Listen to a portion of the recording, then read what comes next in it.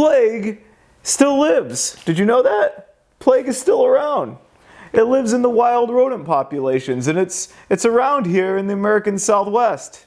And little rodents, little rodents about the size of Stella here, little harbingers of death and disease. Plague came back in the 19th century and this time it was just awful. It started where it was born, in China, and then it went on to devastate most of Asia, killing about 12 million people. This is a time of unprecedented growth and discovery. This is a time when germ theory is finally present. And so the Louis Pasteur Institute sends one of their young scientists, Alexander Yersin, down to Hong Kong to go check it out. Go see what the heck it is that's killing everybody down there. So Yersin goes down to Hong Kong. He goes down to Hong Kong and he's really trying, he's struggling to figure out what the heck it is that's causing this. And he's like, man, if, you know, first things first, I gotta take a look at a dead body. And they're like, no, you can't look at any of the cadavers. You know, those are off limits. He's like, well, pfft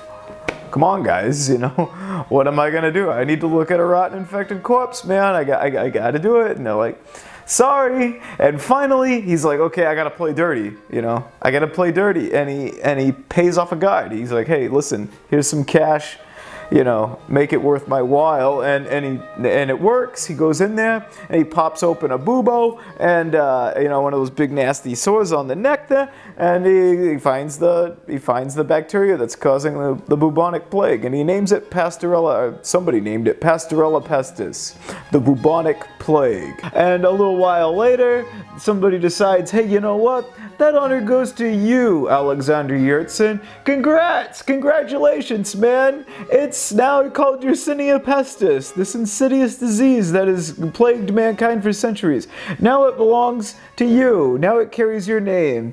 Congratulations! You did it! By 1899, plague is leaking out all over the world from Asia because this is the era of the rail and the steamship. This is the era of the rail and the steamship so people can travel a lot easier. And with people come their parasites. And with people also come rats. On January 2nd, 1900, a steamship called the Australia docked into San Francisco. This made Dr. Joseph Kinyoun a little nervous. You see, Kinyoun was head of the Marine Hospital Service, which is a precursor to the National Institutes of Health.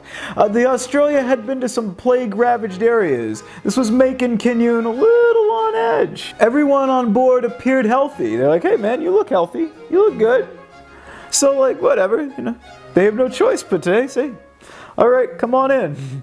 And, uh, well, soon piles of dead rats started to appear. And we all know what that means by now, if you've been watching faithful viewers. But nobody at the time knew, nobody at the time knew that rats were a vector for plague. That wouldn't become apparent for another five years. Henry Gage, the governor of California at the time, outright denied plague in San Francisco. He thought that it would devastate the economy. So he's like, hey, I don't know what you're talking about, man. There's no plague here.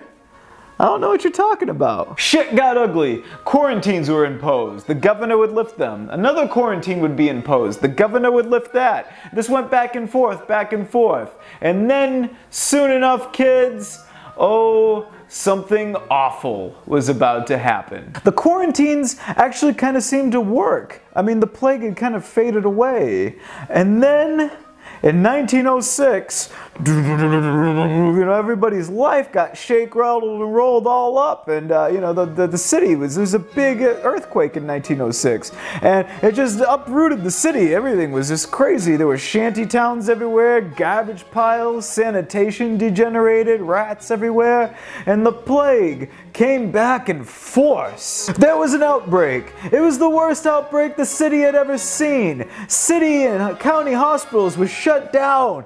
They were shut down because they were overrun with rats. But now we are armed with a new knowledge. We are armed with the knowledge that rats are a vector for plague. So, garbage piles are destroyed, nesting areas are destroyed, and the rats themselves are destroyed in droves. Out of 350,000 rats killed, 154,000 tested positive for plague. By 1908, though, the city was considered clean, and after 159 cases, the city was considered plague free. Jeez. Finally. While everybody is arguing about whether if it's happening or not in San Francisco, uh, you know, you know, you've seen this movie before. You know, there's people with uh, with because of money. They're like, hey, you know, this isn't happening, so they deny science. You know, they deny science because of economics. You know how this goes. You know what I'm talking about. Hey, it's happening. No, it's not happening. Hey, it's happening. No, it's not. You know. Meanwhile, the plague is spreading out into the wild rodent populations, and in Oakland in 1919. It kills 17 people. And then in 1924, here in Los Angeles, it kills 37 people. 37 people in Los Angeles in 1924 die of bubonic plague. The bubonic plague, uh, you know, it's, it's in the wild rodent populations here in the American Southwest. It's still in the wild rodent populations. A lot of squirrels. Squirrels are a great vector for plague, and you see squirrels. I see squirrels all the time, don't you? I mean, so the next time you're in a park or something, go ahead, take a look at him. Go take a look at a little squirrel. Look at the little squirrel with his cute little cheeks and his little hands, and he's all. Take a look at him and say, hey man, uh, why do you do this? Why do you carry this thing around with you?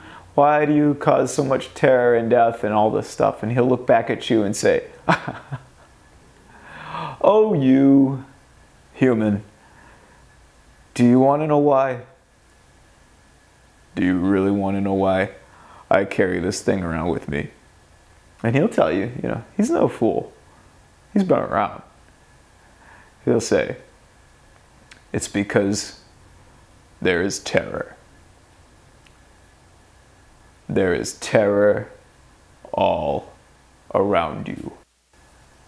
There's terror all around you. Can't you see it? Take a look.